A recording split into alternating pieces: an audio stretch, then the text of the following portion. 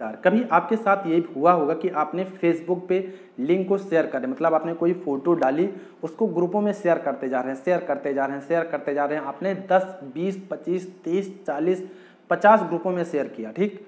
अगर कोई वीडियो डाली वीडियो को शेयर करते जा रहे हैं, पचास ग्रुप में शेयर किया तो फेसबुक को लगता है कि अनयूजल एक्टिविटी हो रही है हमारे इस अकाउंट में। मतलब कुछ न कुछ यहाँ पे गड़बड़ है। तो क्या करता? आपके अकाउंट को सस्पेंड कर देता मतलब यहाँ पे अकाउंट को सस्पेंड कर देता। तो उस अकाउंट सस्पेंड हो जाता है तो उसको लॉगिन फिर से हमें कैसे यहाँ पे लॉगिन करना होता? चलिए हम यहाँ पे एग्जांपल आपको दिखाते हैं। ऐसे आप समझ नहीं पाएँगे। चलिए यहाँ पे दिखाता हूँ मैं। स्क्रीन रिकॉर्डिंग मेरी चालू हो गई। यहाँ पे मैंने अपना मेन अकाउंट लॉग आउट करता हूँ, जो मेरा मेन अकाउंट था। यहाँ पे देख सकते हैं, इस पर मैंने राजेश मौर्य वाले ऑप्शन पे क्लिक किया। यहाँ पे मैंने पासवर्ड डाला। देख सकते हैं, मैं पासवर्ड यहाँ पे डाल रहा हूँ। आप देख सकते हैं। ये क्या हो गया बैक करते हैं ज़रा सा। इस पर मैंने क्लिक किया, यहाँ पर मैंने पासवर्ड डाला देन हमने लॉगिन इन इन पे किया। अब देख सकते हैं हमारा अकाउंट यहाँ पे लॉगिन हो चुका है। देख सकते हैं लॉगिन होने के बाद आपके अकाउंट को लॉक कर दिया गया। आप बिल्कुल आप यहाँ पढ़ सकते हैं, हमारा मोबाइल ये है। राजेश, आपके अकाउंट को लॉक कर दिया गया है। हमने आपके अकाउंट में असमान एक्टिविटी देखी मतलब अनयूजल एक्टिविटी देखी है। इसका मतलब ये भी हो सकता था कि किसी ने आपकी जानकारी बिना आपके अकाउंट का इस्तेमाल किया है। उसको ये देखिए एल्गोरिदम होता है वो कोई वहाँ पे लोग बैठे नहीं होते हैं कि आपको समझ रहे हो। उसके जो मशीनरी सिस्टम लगा होता है, जैसे मशीनरी सिस्टम उसको लगता है यहाँ पे अनयूजल एक्टिविटी हो रही तो वो क्या करता है? आपके अकाउंट को लॉक कर देता है। ठीक?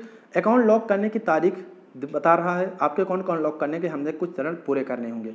अब होता क्या जब अकाउंट लॉक हो जाता, वहाँ पे मेल नंबर भी अटैच नहीं था ईमेल आईडी भी अटैच नहीं था तो हम इस अकाउंट को अनलॉक कैसे करें? सबसे बड़ी बात यहाँ पे फंस जाती है। तो हमें क्या करना है? शुरुआत करे वाले ऑप्शन पे क्लिक करना। जैसे हम शुरुआत करे वाले ऑप्शन पे क्लिक करेंगे, अपने अकाउंट को कैसे अनलॉक करें?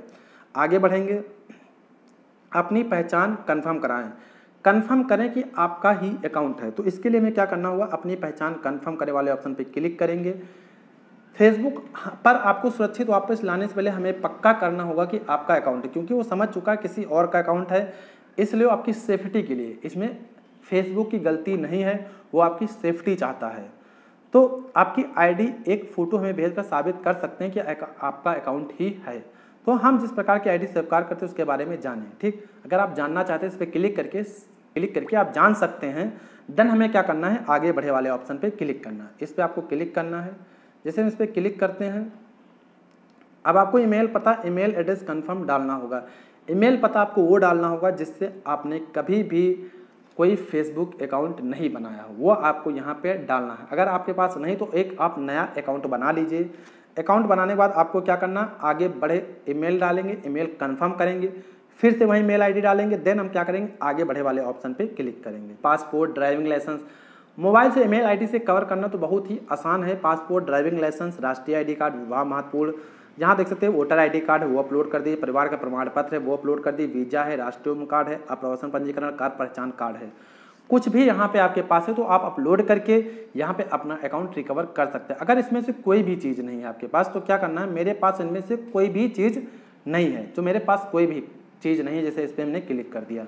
अब दस्तावेज़ अपलोड करें तो प्लस वाले आइकन पे क्लिक करके, आपको यहाँ पे कैमरे पे क्लिक करके आप अपना आधार कार्ड आधार कार्ड सबके पास होता है तो आपको अपना आधार कार्ड यहाँ से अपलोड कर देना। चलिए, आधार कार्ड का फ्रंट और बैक मैंने दोनों अपलोड कर दिया है। अब आपको क्या करना है, सबमिट करे वाले ऑप्शन पे क्लिक करेंगे। चलिए, यहाँ पे सबमिट कर देना है। जैसे हमने सबमिट कर दिया है, आप देख सकते हैं we have received your information मैंने आपकी इन्फॉर्मेशन प्राप्त कर ली है। अपनी आईडी फ़ोटो अपलोड करने के लिए आपका धन्यवाद। आमतौर पर हम आईडी का रिव्यू 24 घंटों के अंदर करते हैं। जब हम अपनी जानकारी रिव्यू कर लेंगे, तब हमने जो मेल आईडी डाली है, उस पर हम आपको इस्तेमाल मतलब इन्फॉर्मेशन जो भी होगा, मैं उस उस आईडी पे आपको भेज दूँगा, जो आपने मेल आईडी डाली थी। अब आपको कुछ इस प्रकार से अपना जो अकाउंट लॉक हो गया है, उसको रिकवर कर सकते हैं दोस्तों। यही एक लास्ट स्टेज है।